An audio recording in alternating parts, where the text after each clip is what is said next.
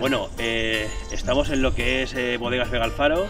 Eh, nosotros tenemos una denominación de origen propia que es los, los balagueses. hacemos vinos con estructura, sabes, propio de lo que es ese, suelo, ese ecosistema, de suelos pobres, calizos. Y luego tenemos aquí la finca Alfaro, situada en La Vega, en el río Magro, con un suelo arcilloso, sabes, que nos sirve también para hacer vinos con, con mineralidad. Elaboramos también cava y también por supuesto los rosados y los tintos jóvenes y la verdad es que estamos muy contentos porque al tener dos espacios muy diferenciados pues cada uno pues sirve para un estilo de vino distinto. Bueno, estamos en este paraje maravilloso entre las ramblas en los Morenos, la rambla Albosa, en La Muela y concretamente en Las Pilillas, eh, donde fue el origen del vino, digamos, en la península ibérica.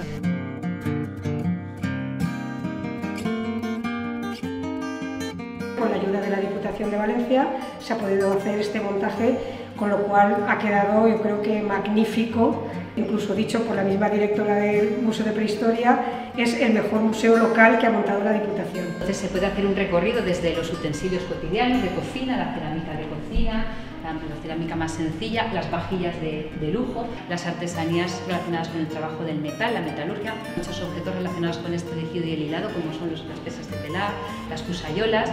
elementos de adorno o las importaciones, las cerámicas de importación traídas o bien desde la zona de, del Ática, de, Grecia o desde la zona de, Italia.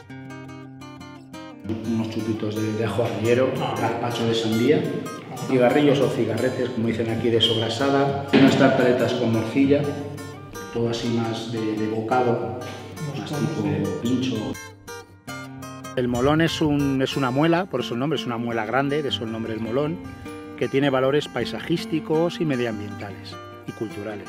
Eh, lo más conocido es el valor cultural, sobre todo por el yacimiento arqueológico, lo que es la muralla, es lo más monumental de época ibérica que, conserva el yacimiento, es del siglo IV a.C. Aparte del yacimiento arqueológico, sea paraje natural municipal y microreserva de flora, sobre todo por un pequeño pozo que hay en la entrada que tiene un tipo de lecho endémico en la comunidad valenciana y digamos que ayuda un poco más a la riqueza medioambiental del cerro.